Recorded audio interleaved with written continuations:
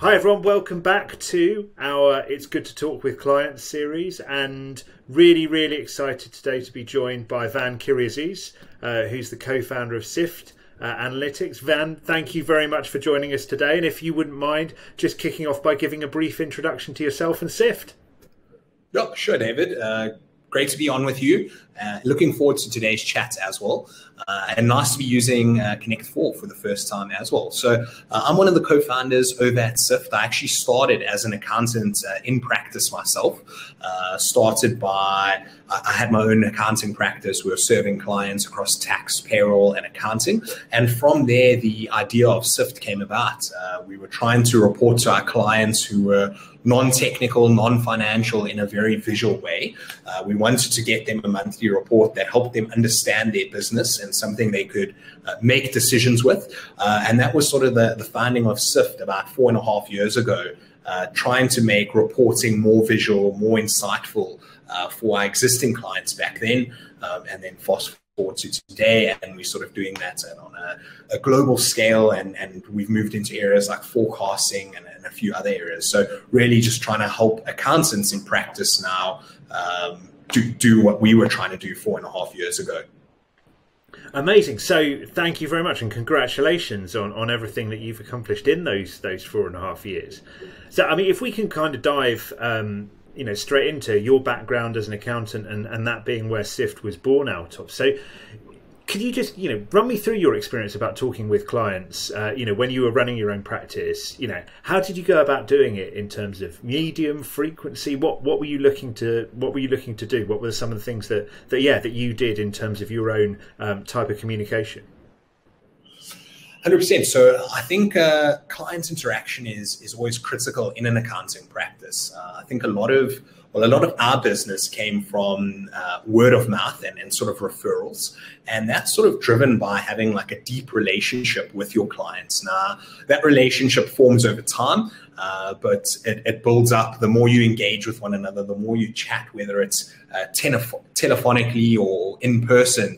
Uh, I think every sort of little interaction should, sort of adds to that uh, and helps sort of build that rapport between yourself and your client. Now, um, Zoom and sort of digital meetings were not a thing that we did at all four and a half years ago. Uh, it was always telephonic or face to face unfortunately, there was no sort of ability to just jump on a, a quick uh, video call and, and, catch up with the clients. It was all uh, telephonic and a lot of in person uh, chats. So uh, we're based in South Africa, and I think typically uh, clients would range. Uh, I get, I guess the demographic of your client was typically let's say 40 to 60 being like a, a business owner, uh, they would want to see you in person at their premises or, or maybe at your offices. Uh, they'd want to see you, as I say, face to face. But I would also try give clients a call on a monthly basis, and I'd tie that phone call in uh, with the management accounts that I was providing to them. So I used that opportunity of delivering a set of uh, management reports on how their business had done for the previous month or the previous two months. Uh, and I'd use that as a talking point, uh, but also an opportunity to give them a ring, see how things were going and what was sort of on the horizon.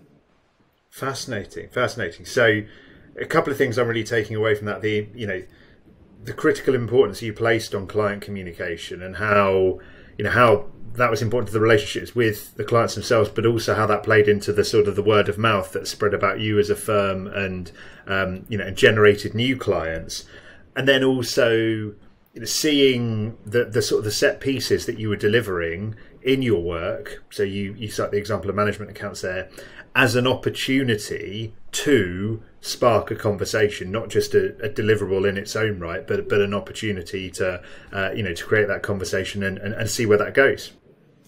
I think you're right. We can be super sort of automated and we, we can have lots of sort of emails going off and uh, sort of make our whole process as streamlined as possible. Uh, but I think at the end of the day, it is a, a relationship and a service we're providing uh, to our clients. So the ability to talk with them, to engage with them in a in an oral sort of two-way conversation that's not uh, asynchronous and that's real time is is critical for a client's engagement. If it's always email and always just ticking the boxes and getting things done, I think you lose that human touch, which in a service business uh, such as an accounting firm, uh, is critical. You know, you want to build that rapport. Uh, you want your client to be that trusted advisor to your clients. Uh, and the, the further down that relationship you go, uh, the more likely your clients are to refer you uh, within their circles because they know you, they trust you, uh, and there is a relationship there. It's not just uh, they're paying for uh, some emails and some compliance work every month. Uh, they know you, they like you, and, and they're willing to share that with other people. Really interesting. Yeah, that that's such an interesting perspective. The the kind of you know, it's not just getting things done; it's about the opportunity for the human touch. They're not just playing you to uh, to complete a task. There, there's the huge kind of relationship need and and benefit on top of that. So, I mean, if we can move from that van into um, into accountants communicating with their clients today, you'll obviously have a perspective on this from when you were in practice and were you know competing against other other accounting firms and you'll have the perspective that you have now in Syft and working with lots of accounting firms to to help them you know work with their clients you know how do accountants communicate with their clients what do they do well what what do they not do well and and you know how how are they getting better where is the where is the room still needed for improvement I think accountants, I, I, still think there's a gap in not spending enough time uh, talking with our clients, not having a communication like this where you face to face, or as I said, telephonic earlier. I think we we default. We've got these huge laundry lists of things to do, uh, tax deadlines to meet, payroll deadlines to meet, that we end up trying to do things as quickly and possible as possible, and losing that human touch. I think uh, obviously through the pandemic, with within 2020. Uh, the use of sort of video chats has become sort of a standard amongst all clients and accountants. So I think guys are willing to jump on a quick Zoom or Google Meet or, course, Connect4 in, in our in our case. Um, and that's been great because it has it's reduced that travel time that was previously required to have a face-to-face meeting. Uh, so I think there's definitely been benefits from a communication perspective uh, from 2020 and, and going into this year. Um, I do think we need more real time communication though, as emails and stuff are great, but this instant real time uh, things come up when it's real time. You know in an email you try to be as short and to the point as possible uh, but in a conversation like this uh, the conversation can drift. We can talk about different topics. We can talk about things that are coming up. Uh, there's more scope to expand the the sort of agenda of a conversation, whereas uh, email can be a little bit limited. Um, I do think there's there can be maybe going forward the abilities for more sort of real-time chat communication between sort of clients uh, and accountants. So I think that might be an underserved area uh, at the moment. I think obviously telephone, email, uh, video call has been sort of uh, is now commonplace, but maybe more along sort of the chat realm where uh, maybe it's real time or sort of semi real time, but the ability to sort of communicate in a chat interface, maybe through alerts, maybe through an app, uh, is somewhere that still maybe needs to evolve a bit further. I'm not sure, David, if if you've seen anything on on that front, but I think uh, a busy business owner or a client sometimes wants to use their mobile device to sort of interact with you maybe doesn't have time for the, the 30 minutes Connect4 chat or video call uh, at the moment and maybe a couple messages could off outside of your standard messaging platforms that are a little bit more tailored towards their numbers their business um, and sort of their documents. I don't know what your thoughts on that are. Yeah, really interesting. I mean, I love the the, the emphasis on real time um, communication, and yeah, that sort of idea of you know, email is very is very linear as a uh, as a communication um, you know medium, asynchronous as it is, and so the, you know I really love the idea of sort of almost engineered serendipity, right? Which you get in conversation, and you get those sort of sparks of of ideas um, and, and, opportunities that can arise that, that don't, you know, when it's uh, when it's a more sort of you know structured linear form um, as you as you get with email. Um, so no, I think that's that's really um, that's really fascinating. Where in terms of you know where things are and, and where the opportunities um, still remain. You mentioned a bit about the the effect of the pandemic. I mean, I don't know if you had anything else to add in terms of you know the changes that you know you've seen that bring about in terms of client communication over the over the last year speaking more maybe towards uh, I guess the South African markets, it's it's definitely gone from this traditional face to face to fully online, fully video enabled, uh, less. And I think there's been huge benefits for uh, both accountants and business owners in that. Uh, less travel time, you know, 30 minutes either way. Uh, you sort of start to lose time and it becomes unproductive. Uh, so you can be more productive. I think um, it, it, has pushed that sometimes the, the value of a face to face conversation uh, can be great too. You know, it does maybe build uh, let's say this is strictly in person now, does can build that sort of extra rapport, you know, rather than always uh, video.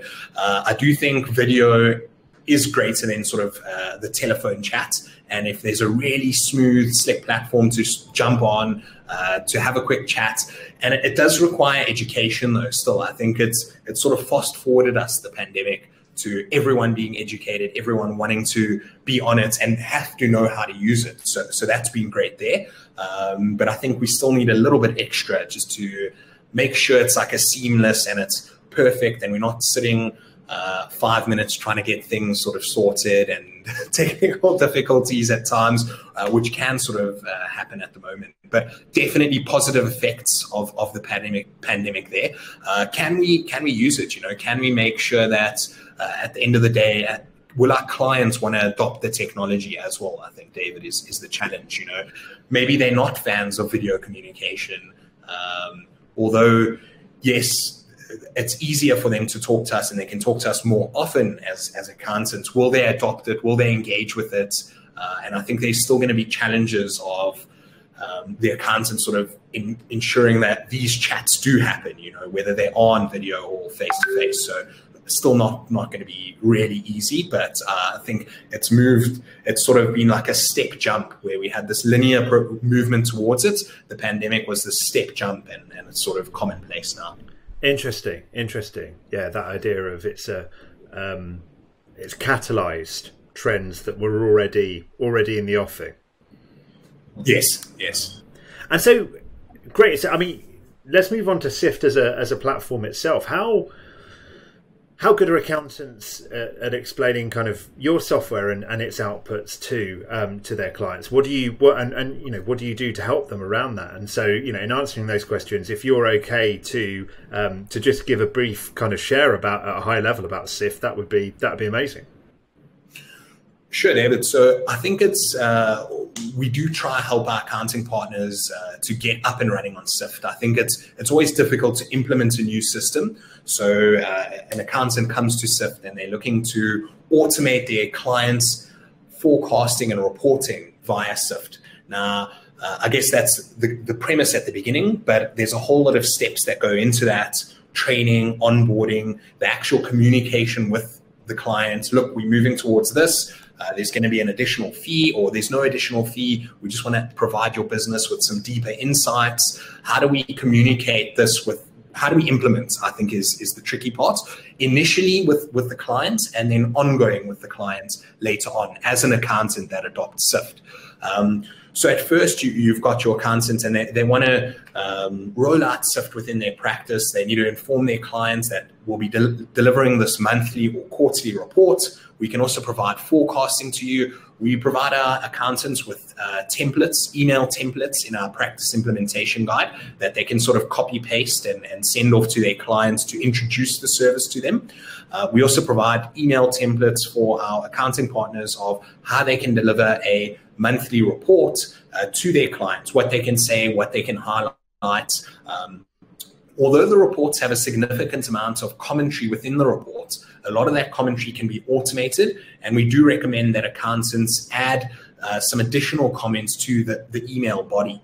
Now, email is a very, as I said, uh, sort of old school way of, of interacting with data. Some of our accountants actually invite their clients into Syft, into a dashboard. It can be a branded, sort of white label dashboard uh, where the client can interact with their data real time. Uh, I think we can also do more from Syft's side to empower accountants and clients to communicate together, though, David. We, we don't have uh, built-in chats or communication between clients and accountants at the moment. So although your your clients on your beautifully white labeled dashboard with all of your branding and they're interacting with their data, they can't ask you a question there and then, um, and you can't reply within our dashboard. Uh, but that is an area we want to explore in more detail. Uh, we also want to explore rolling out a mobile application on iOS and Android. Uh, this could power things like alerts and notifications, uh, but also two way communication between uh, clients and accountants around questions on financials, uh, questions on movements, things along those lines. Uh, so at the moment, the majority of our accountants are delivering reports via email to their clients and then perhaps scheduling a chat uh, or their clients are logging in automatically, or they're doing a video call where they're screen sharing and um, they're explaining the numbers to a client, presenting it in a board meeting. Uh, we're definitely a fan of the, the latter where it's more real time. Uh, but of course, if you're an accountant and you've got 100 clients uh, to report to on a monthly basis, it's also not feasible to have a 30 minute chat with with every single one of them every month. Uh, so I think it's it's going to be dependent. Uh, can you price for certain services? Uh, but I definitely think on top of that email, you maybe want to have a quick phone call. It's a nice uh, it's a nice talking point to sort of introduce. Um, the report to them, their numbers, and then to talk a little bit more about their business. So uh, it's a great way to strike up a conversation with your clients. Amazing, amazing. And are you all set to do a, a quick kind of two minute screen share? Fantastic. So I've just navigated over to Syft. Uh, David, can you see it on your side? Yeah, perfectly. Thank you.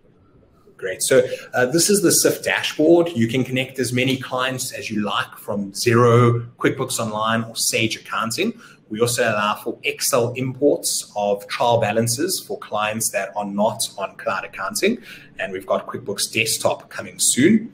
Um, if I just navigate back to the Syft dashboard, uh, one of our favorite features amongst accounting practices is the ability to monitor their client base at a very high level. So all of your clients' P&Ls, balance sheets, and key KPIs at a very high level. The feature set then centers on probably three or four core functions. Uh, one of our favorites is reporting, where you can download a branded PDF report pack for your clients very, very quickly. It's sort of a single click download and you'll have a PDF report. I went ahead and just downloaded one earlier. It would take a few seconds, um, but really, really simple to understand, uh, clean visuals, very colorful, um, and it's really we, want it to be easy for a non-financial client to sort of take in and understand. And of course, this can be fully branded for your practice. Um, other than that, on a more ad hoc basis, your clients may request things like forecasts, will I run out of money in the next 30 or 60 days? And I'm applying for finance and I need a very uh, integrated forecast amongst my P&L, balance sheet, and cash flow. So we've got a suite of forecasting tools that you can use for your clients on a more ad hoc basis. Um, and then if you're using the dashboard, you may want to just visualize data on screen. Uh, so you've got a variety of options just to interact with your data, play around with the date ranges, uh, whether it's in a client meeting or your clients interacting with the dashboard by themselves as well. The last sort of feature, David, is consolidation. So that's around combining multiple entities into a single reporting group, and that can be either single currency or multi currency. Um, yeah, that's that's just to give you a bit of an overview of sort of what Syft does. Um, yeah, I don't know if you had any questions on it or anything you want to do dive into in more detail. No, that is that is perfect. So thank you very thank you very much for that. I'm sure everyone watching will have um, will have found that really useful. And the the only thing to just ask on top of that, Van, is how can people find out more about you and Syft? Sure. Uh, visit our website. It's syftanalytics.com. Um, so syftanalytics.com, you can sign up for a 14-day free trial on the website. Uh, there's also a little chat bottom right of your screen if you want to interact with uh, one of our, our sales staff uh, there and then. Uh, we also have a weekly webinar for accountants in practice. Uh, that's at 2 p.m. every Thursday afternoon. Uh, so join our webinar, take a look around. It's 30 minutes and we'll just take you through Syft in a bit more detail. You can also, of course, always book a one on one demo uh, with the team. But best place, David, syftanalytics.com. Uh, start your search there and, and uh, you, you'll have all the information, pricing, and the ability to jump on a 14 day free trial. Amazing. Well, Van, thank you very much. It's been great to talk. It's good to talk with clients. So thank you very much for your time. Awesome, David. Great to be on the platform for the first time and really enjoyed the chat. Hopefully, you enjoyed that uh, short interview. Uh, my name is Andrew Jordan. I am the uh, CEO at Connect4. Uh, please do book a demo. Click on book a demo, and we will love to talk you through our platform uh, and to show it in action. And uh, yeah, great to have you with us.